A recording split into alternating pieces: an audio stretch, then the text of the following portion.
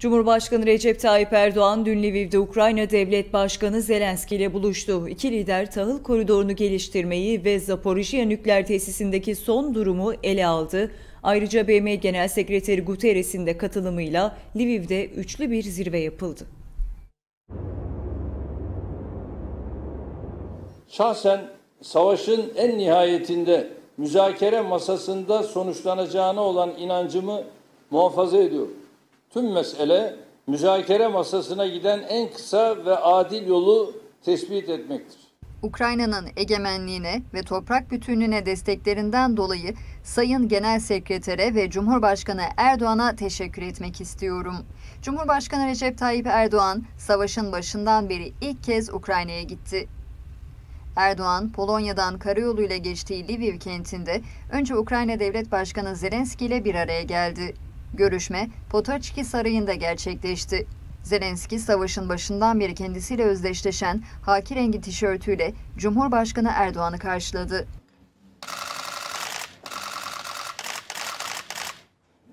Zelenski internetteki paylaşımında Erdoğan'ın ziyaretini güçlü bir ülkeden güçlü bir destek mesajı olarak niteledi. Görüşmede barış müzakerelerinin yolunun açılması da konuşuldu. Mart ayında İstanbul'da şekillenen parametreler üzerinden müzakerelerin canlandırılmasının imkan dahilinde olduğuna inanıyorum. Bu hedefe yönelik olarak her türlü desteği vermeye tekrar kolaylaştırıcı veya arabulucu rolünü oynamaya hazırız. Zaporijya nükleer tesisi çevresindeki çatışmaların oluşturduğu büyük tehlike de gündem başlıkları arasındaydı.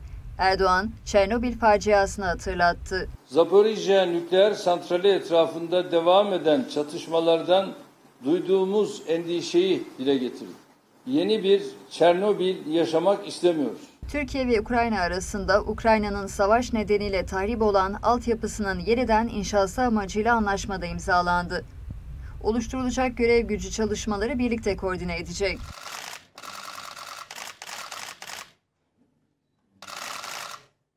Erdoğan, Zelenski görüşmesinin ardından Birleşmiş Milletler Genel Sekreteri Guterres'in de katılımıyla üçlü zirve gerçekleştirildi. Basına kapalı zirve 40 dakika sürdü. Ortak basın toplantısındaki mesajlarda da savaşın bitmesi için diplomasi vurgusu yapıldı. Üçlü görüşmemizde ayrıca İstanbul mutabakatının oluşturduğu müsbet havanın kalıcı barışa tahvil edilmesi imkanlarını değerlendirdik. Diplomatik sürecin canlandırılması için uluslararası toplumun daha fazla sorumluluk üstlenmesi gerektiğine özellikle işaret etti. Erdoğan, tahıl krizinin sona ermesinden bu yana 25 geminin 625 ton tahılı dünya pazarına ulaştırdığını belirtti.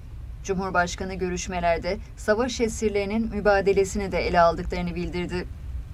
Zelenski ise müzakere için Rus askerlerinin işgal ettikleri topraklardan çekilmesi gerektiğini söyledi ve nükleer santralle ilgili endişesini dile getirdi. Barış görüşmelerinin başlaması için Rusya'nın önce işgal ettiği toprakları terk etmesi gerekiyor. Rusya askeri birliklerini derhal Zaporojye nükleer santralinden çekmeli, provokasyon ve saldırılara son vermelidir. İşgalcilerin Zaporojye nükleer santralindeki terörü küresel felakete yol açabilir. Birleşmiş Milletler Genel Sekreteri Guterres'ten de Zaporojye nükleer tesisi konusunda uyarı geldi. Zaporojye nükleer santralindeki gelişmeler endişe verici. Zaporojye nükleer tesisinden askerler çekilmeli. Potansiyel bir hasar intihardır. Guterres, tahıl koridoru sayesinde küresel gıda krizinin hafiflemeye başladığını vurguladı.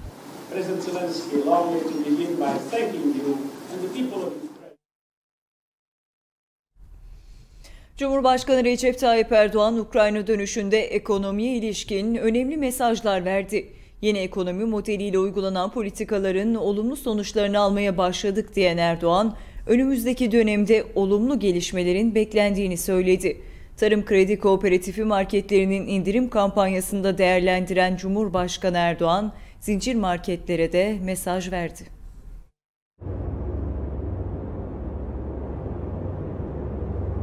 Önümüzdeki dönemde olumlu gelişmeler bekliyoruz.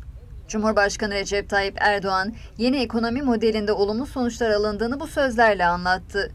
Ekonomideki gelişmeleri değerlendiren IMF'nin Türk ekonomisi büyüme tahminlerini 2022 için %4, 2023 için 3,5'e yükseltmesine işaret etti. Türkiye ekonomi modeliyle makroekonomik istikrarı sürdürebilir kılmayı hedefledik. Yüksek katma değerli üretimi artırmayı özellikle hedefledik. Model kapsamında uyguladığımız politikaların olumlu sonuçlarını da almaya başladık. IMF'nin yaptığı son açıklamalara baktığımız zaman Türkiye'nin ekonomik olarak dünya ülkelerinden farklı bir konumda olduğunu, çok daha isabetli bir büyüme parametresine yakaladığını kendisi ifade ediyor. Böyle bir konumdayız ve biz önümüzdeki dönem için ülkemizi olumsuz değil, tam aksine olumlu gelişmelerin beklediğini görüyoruz. Cumhurbaşkanı Ukrayna ziyareti dönüşünde uçakta gazetecilerin sorularını cevapladı. Tarım Kredi Kooperatifi marketlerindeki indirimin diğer marketleri de harekete geçirdiğini söyledi. Öncelikle tarım kredi kooperatiflerinin attığı bu adımla biz vatandaşımıza uygun fiyatlı ürünleri ulaştırırken bir yandan da birilerini terbiye ediyoruz. Şimdi bakın hemen muhalefet çılgına döndü. Aldatıyorlar, kandırıyorlar falan filan. Şu anda tarım kredi raflarında ürün kalmadı. Zaten bu tarım kredi marketlerindeki olayla diğer zincir marketler fiyatları hemen indirmeye başladılar. Başlayacaklar. Bizim derdimiz zaten para kazanmak değil. Burada tek derdimiz piyasayı balanse etmek, vatandaşa ucuz kaliteli ürün yetiştirmek. Cumhurbaşkanı Kemal Kılıçdaroğlu'nun bizdeki seçmen bilgileri Yüksek Seçim Kurulu'nda bile yok sözleri de soruldu. Kılıçdaroğlu'nun bu sözlerine inanıyor musunuz? Adamın hayatı yalan. Bir şey bildiğinden değil. Tabii bana göre YSK Başkanı ve ekibi onu yargıya taşımalı. Yargıya taşımak suretiyle artık bu adama bedel ödetmeli. Yeri geliyor savcılara saldırıyor. Yeri geliyor hakimlere saldırıyor. Ama nedense onlar çekiniyorlar, korkuyorlar. Anayasayla teminat altındasınız. Anayasada kesinlikle yargıya bu tür beyanlarda bulunulamaz.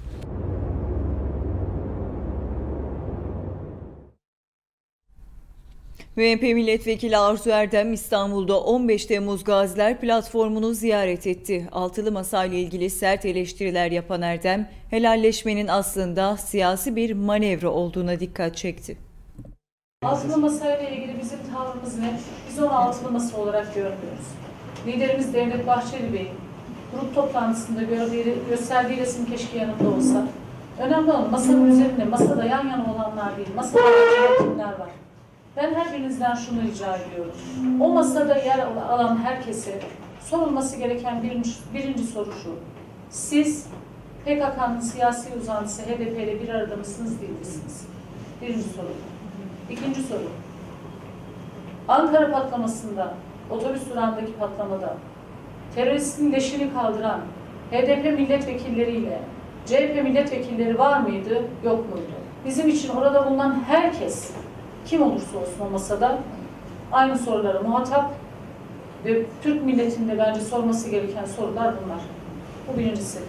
Helalleşme dediğimiz hakikaten artık insanların yüzü sokağa çıktıkları zaman Türk milleti tarafından teşhis edilmiş durumda. Bu isimleri çıkararak helalleşme yapıyoruz. Onunla ise helalleşiyoruz. Bununla helalleşiyoruz. Bunların sadece birer siyasi hamle olduğunu, bu maksatla yapıldığını, Türk milletinin sinesinden asla gelmediğini, gelemeyeceğini, Kavala'ya özgürlük isteyen birinin, Selahattin Demirtaş'a özgürlük isteyen birinin, helalleşme, FETÖ'cülerin eğer biz gelirsek hepinize şartlı salı verme yaptıracak olan birinin helalleşmeye hakkı da yok, geri de yok. Bunu da buradan belirtmiş Ankara'da yapılan Etlik Şehir Hastanesi açılışı için gün sayıyor. Eylül ayında açılması planlanan hastane Türkiye'nin alan olarak en büyük hastanesi olacak.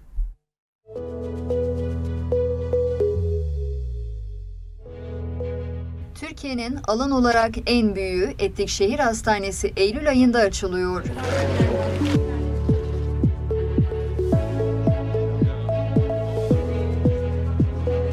Cumhurbaşkanı Recep Tayyip Erdoğan'ın da açılış müjdesine verdiği Etlik Şehir Hastanesi vatandaşlara hizmet vermek için gün sayıyor. Açıldığında Ankara'nın ikinci şehir hastanesi olacak Etlik Şehir Hastanesi, alan olarak da Türkiye'nin en büyük hastanesi olacak.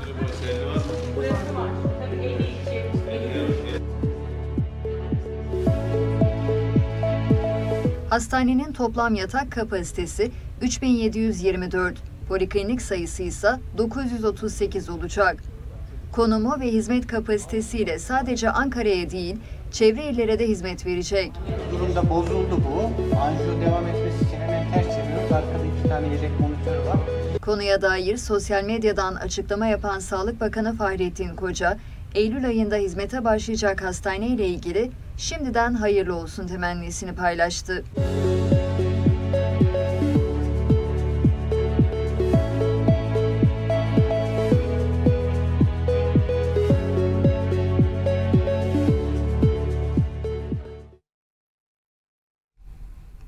Sağlık Bakanlığı ağız ve diş sağlığı hizmetlerinin genişletilmesi amacıyla aile diş hekimliği projesini hayata geçiriyor. Eskişehir, Kırşehir ve Karabükse pilot il olarak seçildi.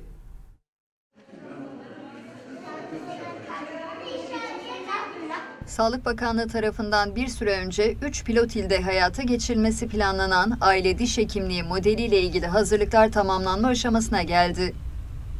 Aile hekimliği sistemiyle benzer bir model olan aile diş hekimliği ilk olarak pilot il seçilen Eskişehir, Kırşehir ve Karabük'te uygulanacak ve 2023 yılı içerisinde Türkiye genelinde hayata geçirilecek.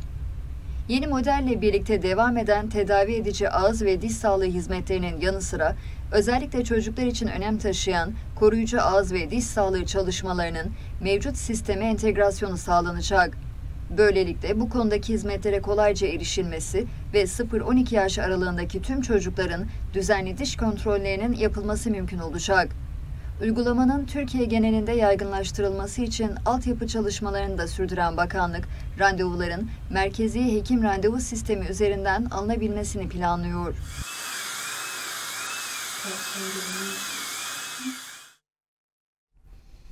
Avrupa'nın orta ve güney bölgelerinde şiddetli fırtına etkili oldu. Fransa'da 6, Avusturya'da 5 ve İtalya'da 2 kişi hayatını kaybetti.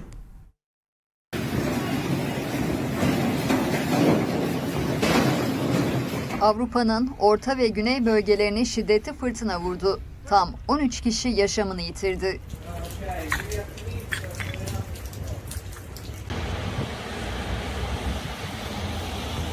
Fransa'nın Akdeniz'de yer alan Korsika adasında hızı saati 224 kilometreye ulaşan rüzgar ağaçları yerinden söktü, evlere zarar verdi. Adada 6 kişi hayatını kaybetti. Fransa ana karasının güneyindeki bazı bölgelerde elektrik kesintisi yaşanırken ülkenin en büyük ikinci şehri Marsilya'da sokaklar sular altında kaldı.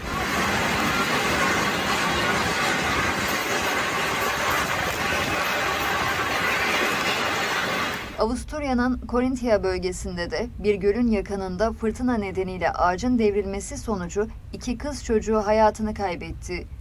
Yine düşen bir ağaç nedeniyle 3 ölüm daha bildirildi.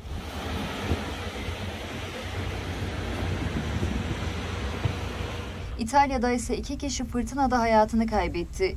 Sahil beldeleri fırtınadan olumsuz etkilendi. Venedik'te kafelerdeki şemsiyeler San Marco meydanına sürüklendi. St. Mark Bazilikası'nın Çan Kulesi'ndeki tuğlalar yerinden söküldü.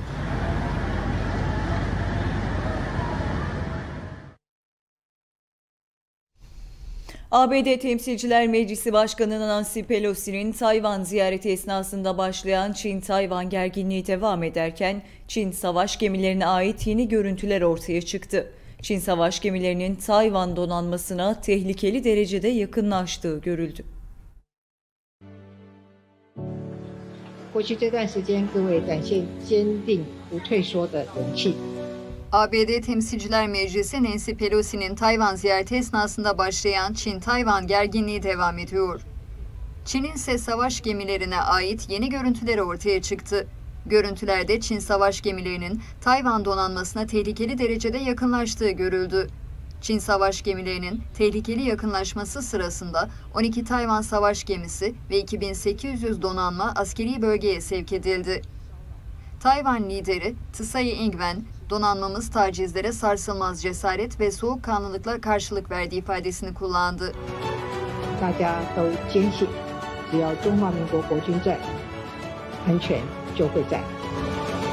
Tüm bu krizin sebebi ise Çin'in Tayvan'ı kendi toprağı olarak görmesi.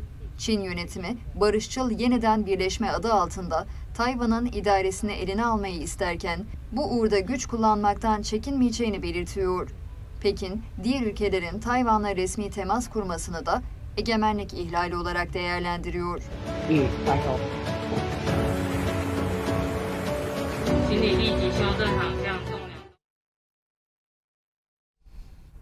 Site yönetimleri, aidat gelirleri pek çok zaman tartışma konusu oluyor. Son olay İstanbul Halkalı'da yaşandı. Eski ve yeni yönetim arasındaki kavga silahlı çatışmaya dönüştü. Biri ağır, 6 kişi yaralandı.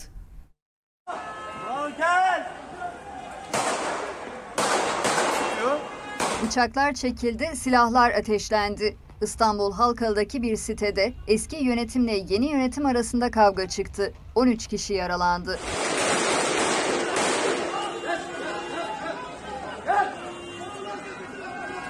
Olay Küçükçekmece Halkalı Meydanı'nda bulunan bir sitede yaşandı. Sitenin eski yönetimiyle yeni yönetimi arasında tartışma çıktı. Site kapısında başlayan kavgada bir kişi bıçaklandı.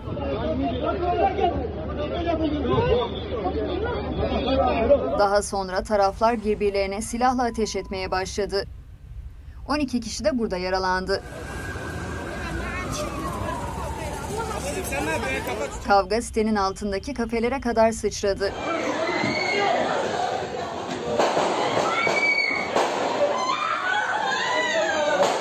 Olay yerine gelen polis ekipleri tarafları ayırmak için havaya ateş açtı. Sağlık ekipleri yaralıları ilk müdahalenin ardından çevredeki hastanelere kaldırdı. Yaralılardan birinin durumu ağır.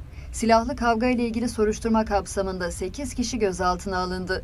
Yapılan incelemelerde ise 7 adet tabanca ele geçirildi.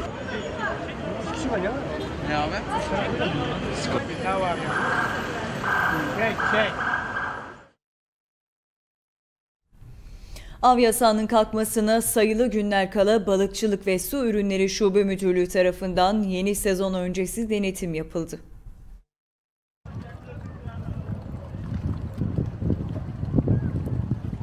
Bir Eylül'de başlayacak olan av sezonuna sayılı günler kala balıkçıları hazırlık telaşı sardı. Ağlarını ve teknelerini tamir ederek sezona hazır hale gelen balıkçılar denize açılmak için gün sayıyor. tamir ediyoruz. Balıkçılığın zor tarafları bunlar. Emniyet ekiplerinin denizdeki mesaisi ise balıkçılardan önce başladı. Sezon öncesi denetime başlayan Balıkçılık ve Su Ürünleri Şube Müdürlüğü yeni dönem öncesi balıkçıları teftiş ederek evrak ve su ürünleri kontrolleri yaptı. Yapılan bilgilendirmenin yanı sıra tutulan balıkların boyutlarını kontrol eden ekipler kurallara uymayanlara da ceza keserek yaptırım uyguladı.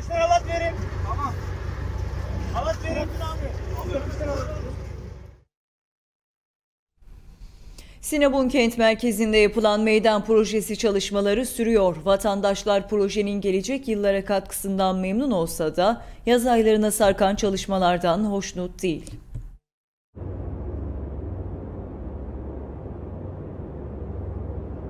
Sinoplular meydan projesinden umutlu ama işleyişinden memnun değil. Daha belli değil, bitmedi. Görünürde öyle güzel bir şey yok şu anda. Ama bitince belki iyi olabilir. Ama şimdi yaz mevsimine geldi hiç de iyi değil. Toz duman içinde gezilmiyor. Yaz turizmi döneminde oldukça fazla yerli ve yabancıyı ağırlayan Sinop, kentin en önemli bölgesinde turizm sezonunda devam eden çalışmalar nedeniyle ziyaretçilerini pek memnun bırakmıyor. Ekonomik sebeplerle tatilini kısmen de olsa yapmaya çalışan ve bu kısmi tatilinde Sinop'u tercih eden ziyaretçiler kentin merkezinde toza maruz kalıyor. Özellikle öğle aralarında ben insanların e, köfte arası toz yediğini düşünüyorum. Çünkü gerçekten tozdan geçilmiyor. Zaten görüldüğü üzere e, her gün 2-3 defa e, Sinop itfaiyesi su- suluyor. Ben bir esnaf olarak e, her gün elimden bez düşmüyor. Sinop Belediye Başkanı Barış Ayhansa, müteahhit firmanın çalışmaları tamamlayıp teslim ettiğinde kentin dokusuna yakışmayan bütün unsurların belediye tarafından yeniden yapılacağını söyledi. Biz yaparız. Yolda düzeltiriz. O betonların içine yeşilleri de koyarız. Sinoplu'yla otururuz. Beraber de yaparız. Beraber yaparız. Ama onları yapamazdı.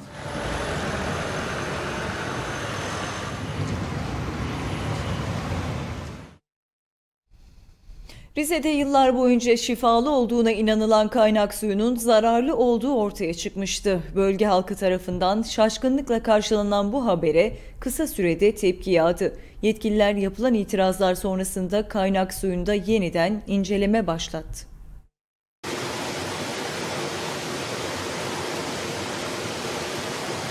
Yıllarca şifalı olduğuna inanılan su zehirli çıktı.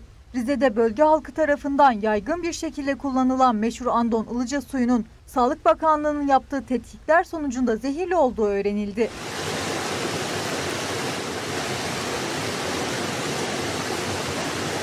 Bölge halkı tarafından yıllardır kullanılan suda %27 oranında arsenik tespit edildi. Vatandaşlar tarafından şaşkınlıkla karşılanan bu habere kısa sürede tepki yağarken yapılan test sonucunun doğru olmadığını düşünen Rizeli vatandaşlar tepkilerini suyu içmeye devam ederek gösterdi.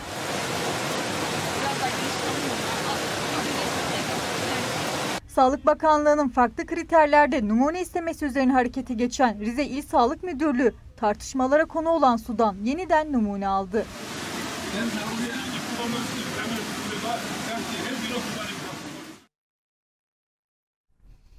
Kene ısırmasına bağlı gerçekleşen Kırım kanamalı kango ateşinde son zamanlarda önemli artış yaşandı. Vakaların artmasıyla harekete geçen Doğa Koruma ve Milli Parklar Şube Müdürlüğü, Bingöl'de kene popülasyonunu azaltmak için doğaya 105 adet sülün kuşu bıraktı.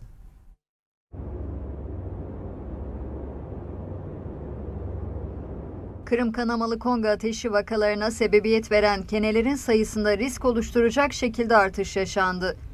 Rahatsızlanan vatandaşlar ve gelen ölüm haberleri sonrasında Doğa Koruma ve Milli Parklar Şube Müdürlüğü kene popülasyonunu azaltmak için harekete geçti.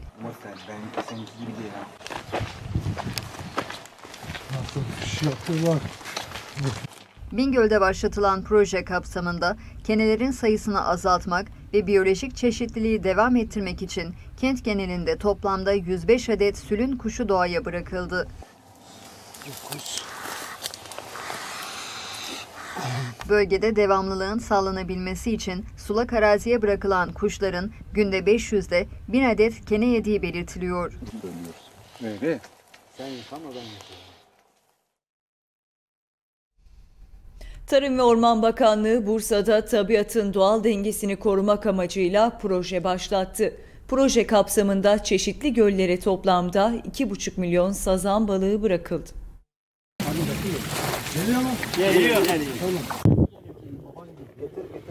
Tarım ve Orman Bakanlığı'nın çeşitli şehirlerde sürdürdüğü su kaynaklarının balıklandırılması projesi hız kesmeden devam ediyor. Proje kapsamında doğal ortamına bırakılan binlerce yavru balıkla doğal dengenin korunması amaçlanıyor.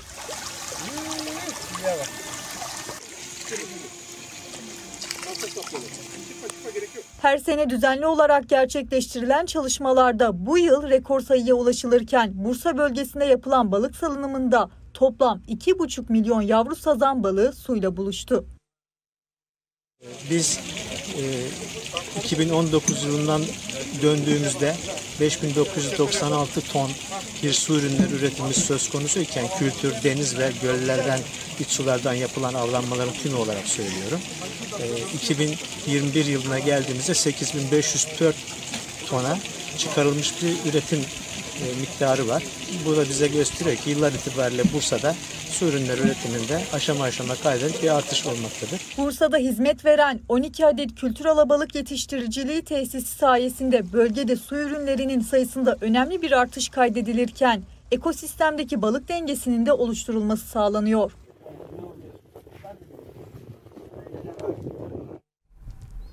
Efeler Belediyesi'nin hizmete açtığı %100 kadın emeği tarımsal ürün fabrikası yurt dışına satış yapma olanağı sağlayan gıda güvenlik sertifikasını aldı.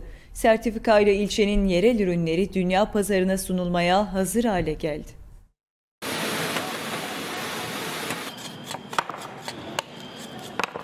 Efelerin tarımsal ürün fabrikası ihracata hazır.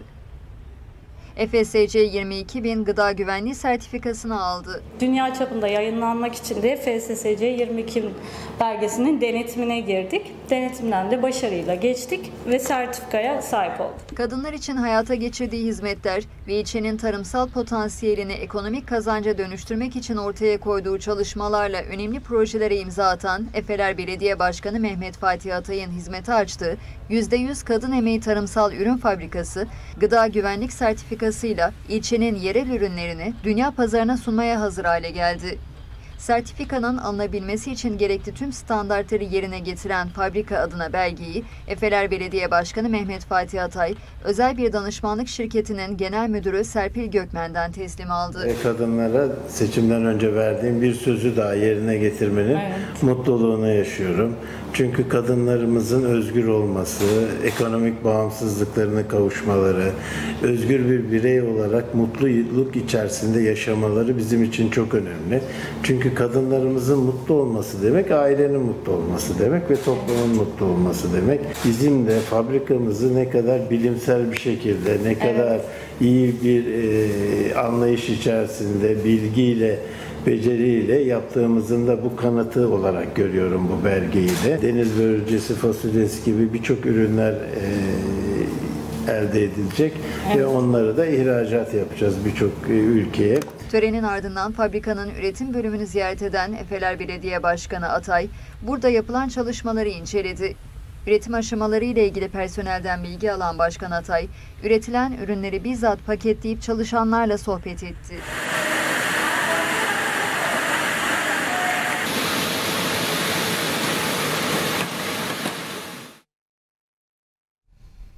Eyüp Sultan Belediye Başkanı Deniz Köken göreve geldiği günden bugüne Eyüp Sultan'da spor, sanat ve eğitim alanlarında ilklerin ve yeniliklerin öncüsü olacak farklı projelere imza attı. Bu projelerden biri olan Matematik Evi projesi, öğrencilere rakamlarla oynamayı, formüllere dokunmayı, problemleri severek çözmeyi mümkün kılıyor.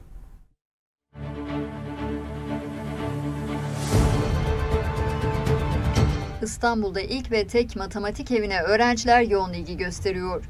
Matematik Evi projesi, matematikte öğrenme yaklaşımlarını değiştirerek 21. yüzyıl matematiksel becerileri eğitiminin gereksinimlerini karşılıyor.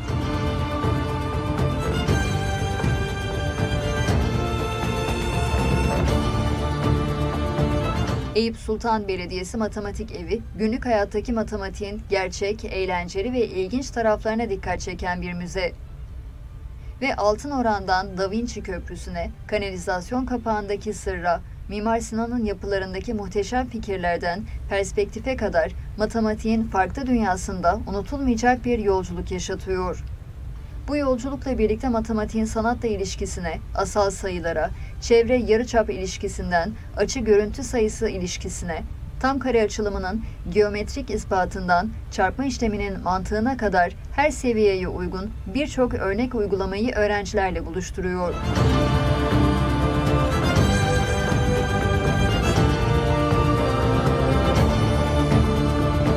Haftanın 6 günü açık olan matematik evini 7'den 70'e herkes ziyaret edebiliyor. Herhangi bir yaş sınırlamasının olmadığı matematik evine okullarsa çarşamba ve perşembe günleri randevu alarak kendilerine verilen uygun saatlerde gelebiliyor.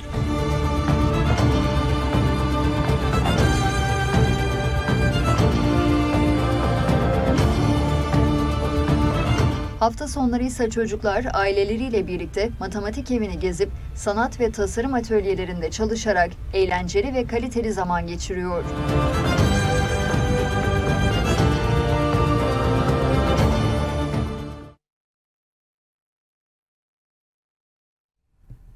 Esenyurt Belediyesi sağlık durumu hastanelere gitmeye elverişli olmayan hastalar için sürdürdüğü evde sağlık hizmetine ara vermeden devam ediyor.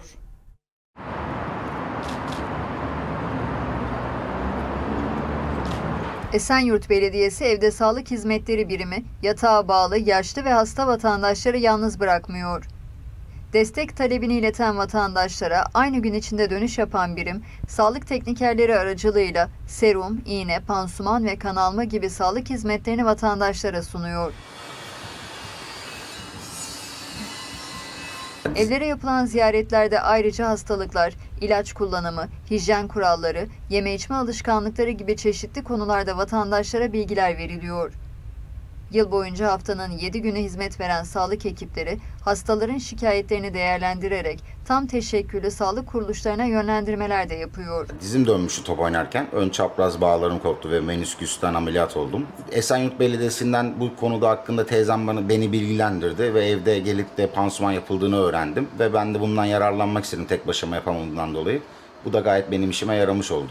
Esenyurt Belediyesi'nin evde sağlık hizmetlerinden yararlanmak isteyen vatandaşlar merkezin 0212 620 22 20 numaralı telefonla arayarak Sağlık İşleri Müdürlüğü'ne başvuruda bulunup program dahilinde hizmet alabiliyor.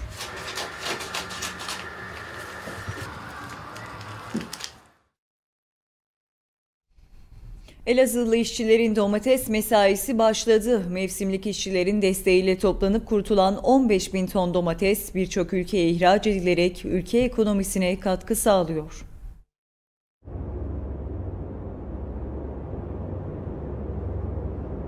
Dünya sofralarını süsleyen domatesin kurutulma dönemi başladı. Elazığ'da kavurucu sıcaklar altında kurutulan domatesler, başta Avrupa ülkeleri olmak üzere Amerika Birleşik Devletleri, Fransa ve İngiltere'ye ihraç ediliyor.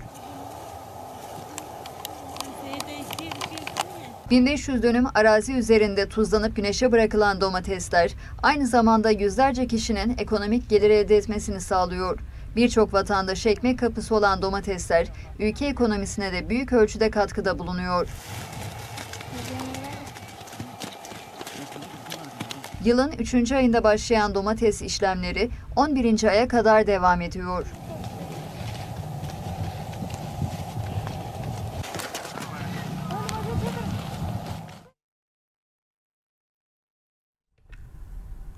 Japonya'da başkent Tokyo ve çevresinde ateş topu görüldü. Olayın görüntüleri sosyal medyada kısa sürede gündem oldu.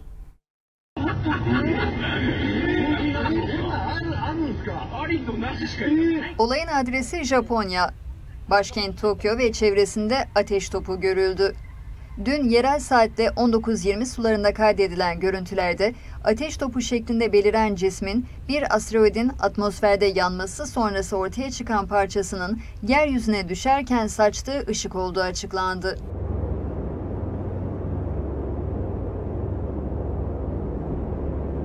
Denize düşmüş olabileceği değerlendirilen göktaşının görüntüleri seyir halinde olan araçların kameralarına yansıdı. Sosyal medyada paylaşılan görüntüler büyük ilgi gördü.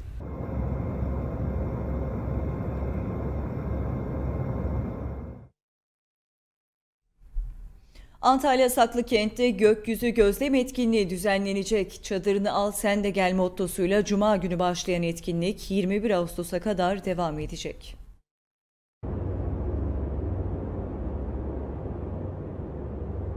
Antalya Bilim Merkezi düzenlenecek gökyüzü gözlem etkinliğinde yıldız ve gökyüzü tutkunlarını bir araya getirecek.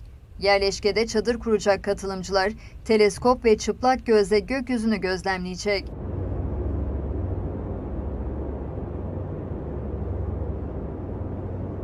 Kepez Belediyesi Antalya Bilim Merkezi'nin çadırını al sen de gel mottosuyla 19-21 Ağustos tarihleri arasında düzenlediği kamp etkinliğine katılanlar 2500 rakımlı Saklıkent'teki TÜBİTAK Ulusal Gözlem Evi'nde Türkiye'nin gözle inceleme yapılabilen en büyük teleskobuyla uzmanlar eşliğinde gökyüzünü inceleme fırsatı bulacak. Sanayi ve Teknoloji Bakanı Mustafa Varank, bu etkinliklere katılan gençlerimiz yarının en başarılı bilim insanları olacak temennisinde bulundu.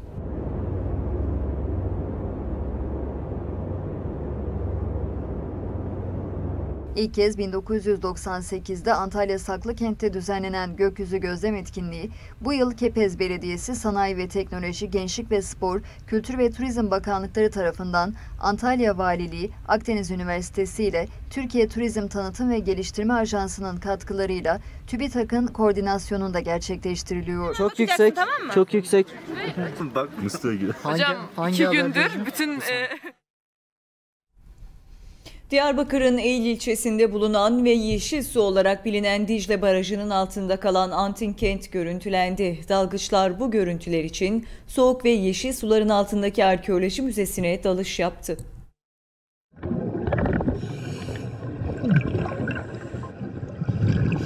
Dicle Barajı altındaki batık kent dalgıçlar tarafından böyle görüntülendi.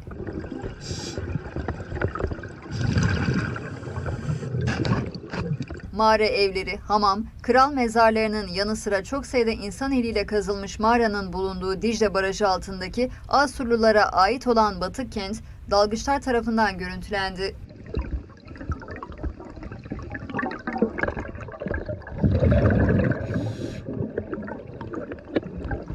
Diyarbakır'da Dicle Su Sporları Kulübü Derneği'nden soğuk ve yeşil suların altındaki arkeoloji müzesine dalış yapan dalgıç eğitmenler yer altındaki zenginliği görüntüleyip fotoğrafladı.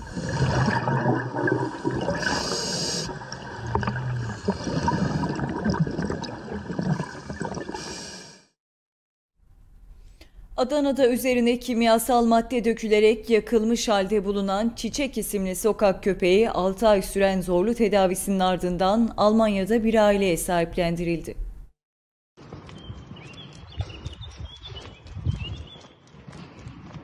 Onun ki bir kurtuluş hikayesi. Adana'da üzerine kimyasal madde dökülerek yakılmıştı.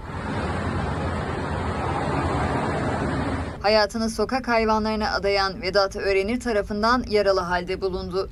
Hemen tedaviye alındı. Zorlu tedavi ise 6 ay sürdü. Çiçek şu an Almanya'da bulduğumuzda e, meydan mahallesindeydi. Sırtı aşırı derecede asit ve kimyasal bir şeyden yanmış vaziyetteydi. Hı hı. Hemen arkadaşımız haber verince gittik aldık hayvanı. Kliniğe götürdük. Teşhis konduktan sonra tedaviye başlandı işte. iki aylık bir süreçte tedavisi e, klinikte sürdü. Çiçek sonunda iyileşti ve yeni ailesinin yanına Almanya'ya yerleşti. Şu an Çiçek e, gerçekten hayatının e, güzelliğini yaşıyor. E, çok mutlu bir şekilde yaşıyor. Bir de kardeşi var orada kendisi gibi. Hı hı. Huzurlu bir şekilde yaşıyor. Çiçek şu an çok iyi durumda ama çok çekti. Ve direndi de, mücadele etti. Yani atlatılabilecek bir yara değildi bu aslında. Hı hı. Ama direndi ve kazandı. Şimdilerde ise çiçekler gibi yaşıyor.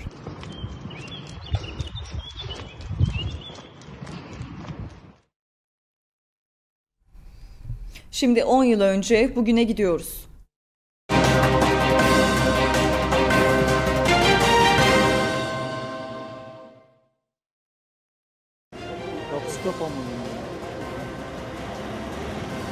Bayram namazını Süleymaniye Camii'nde kıldı Başbakan Recep Tayyip Erdoğan.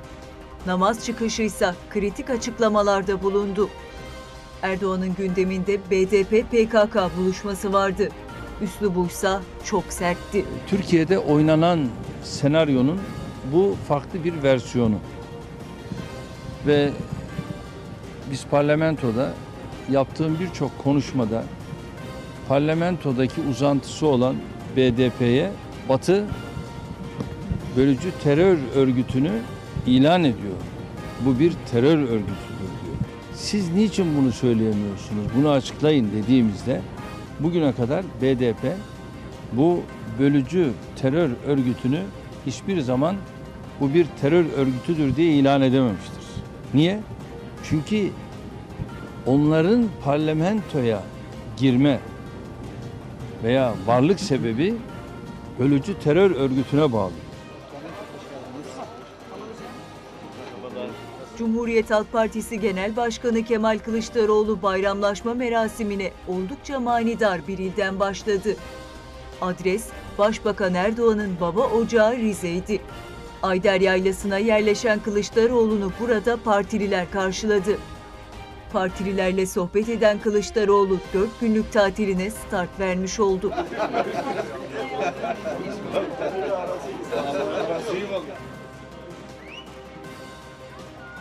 Çanakkale'de Gelibolu Yarımadası Tarihi Milli Parkı içerisinde bulunan Büyük Anafarta Köyü yakınlarında yangın çıktı. Belirlenmeyen bir nedenle çıkan yangına çok sayıda arazöz ve iş makinesinin yanı sıra 5 uçak ve bir helikopter müdahale etti. 5 hektarlık bir alanda etkili olan yangını söndürebilmek için Keşan ve Edremit'ten takviye helikopter istendi. Yangın bölgesinde yol olmaması ise karadan müdahaleyi zorlaştırdı.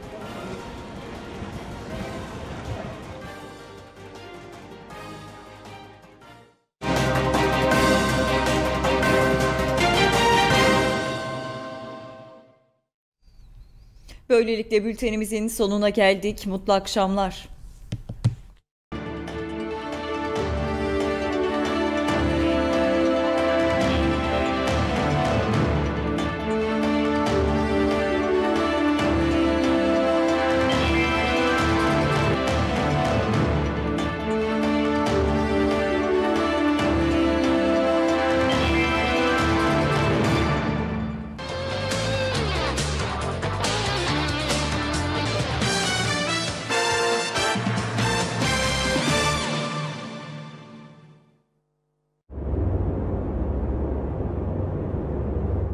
UEFA Avrupa Ligi Playoff Turu ilk maçında Fenerbahçe deplasmanda Avusturya ekibi Avusturya Wien'le karşılaştı. Mücadele Sarı Lacivertlilerin 2-0 üstünlüğüyle tamamlandı. Teknik direktör Jorge Jesus karşılaşmayı yayıncı kuruluşa değerlendirdi. Portekiz'de teknik adam, hiçbir teknik direktör maçtan önce maçta neler olacağını bilemez ama takımını her zaman en iyi şekilde maça hazırlar. Bugün takımımız özellikle defansif organizasyonda çok iyiydi. 2-0 gibi net bir skorla ayrılıyoruz. Bu sonuç bize turu garanti etmese de ikinci maç öncesi bize bir rahatlık verdiği kesin dedi. İyi akşamlar. Teşekkür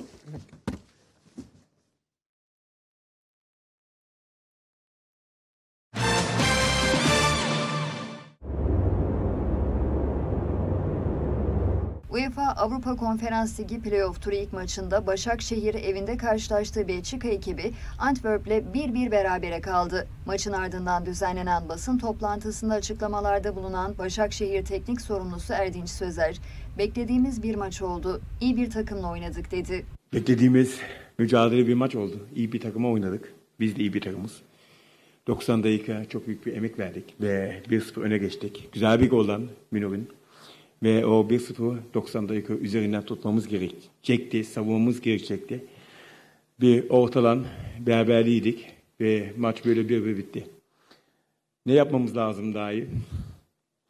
Öncelikle ilk devre daha iyi pozisyona çıkardığımız pozisyonu değerlendirmemiz gerekiyordu. Az daha hızlı oynamamız gerekiyordu. Toplan bazı statik kaldık. Daha hareketli, daha hızlı oynayacaktık. Onu maçta evvel konuşmuştuk.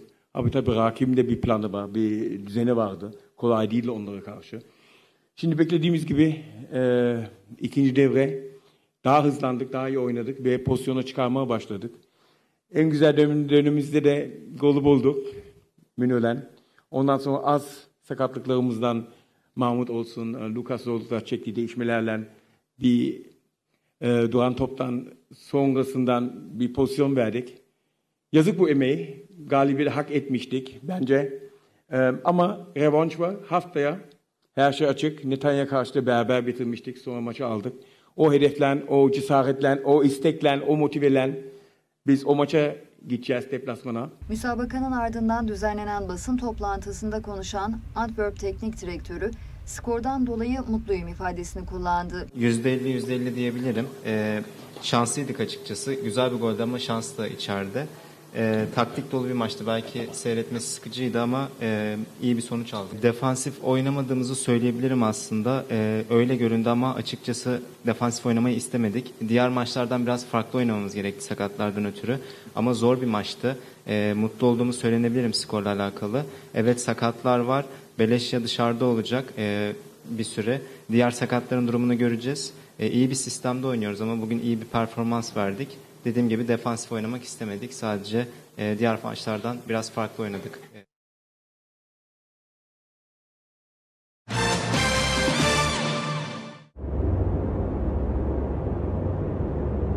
UEFA Avrupa Ligi Playoff Turu ilk maçında Sivasspor deplasmanda İsveç takımlarından Malmö ile karşılaştı. Mücadele Malmö'nün 3-1 üstünlüğüyle sona erdi.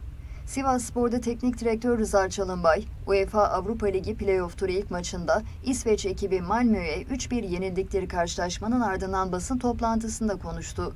Çalınbay şu ifadeleri kullandı. Her şeyden önce çok güzel bir maç oldu. Malmö taraftarıyla beraber birlik oldu ve biz baskı yedik. Bu baskıyı kaldırmamız gerekiyordu. Maalesef kötü goller yedik. Özellikle maçın başlarında bayağı sıkıntılar yaşadık ama sonra düzelmeye başladık. Güzel bir şekilde golümüzü de bulduk. Kısa sürede yediğimiz gol bizim için sıkıntı oldu. Yediğimiz üçüncü gol kötü oldu ama iyi oynamaya başladık daha sonra. Güzel pozisyonlar yakaladık. Maalesef son vuruşları değerlendiremedik. Deneyimli teknik adam Malmö ekibine hoş geldiniz demedikleri için sistemde bulunarak maçın ilk yarısı bitti, ikinci yarısı da Türkiye'de oynanacak. Biz Türk vatandaşı ve Türk teknik direktörü olarak evimize gelen takım ne olursa olsun kendilerinin yanına gideriz. Kendisine başarılar dileriz. Burada bize gelip hoş geldiniz veya başarılar dileyecek bir şeyde bulunmadılar. Sağ olsunlar, teşekkür ederiz. Biz onlara Türkiye'ye geldiğinde hoş gelsin diyeceğiz, başarılar dileyeceğiz. Maç buradaki gibi olmayacak. Çok farklı olacak. Kolay kolay eğlenmeyeceğiz. Daha güzel, daha değişik bir maç olacak. Bizim çok eksiğimiz var. Yapacağımız transferler var. Biz bu maçı kaybettik demiyorum. Daha maç bitmedi. Maçın ilk yarısı bitti. İkinci yarısı Sivas'ta bambaşka bir şekilde göreceksiniz. Maçta her türlü riske de gireceğiz. Saygı, sevgiyle onları karşılayacağız. İnşallah turu geçen takım biz olacağız diye konuştu.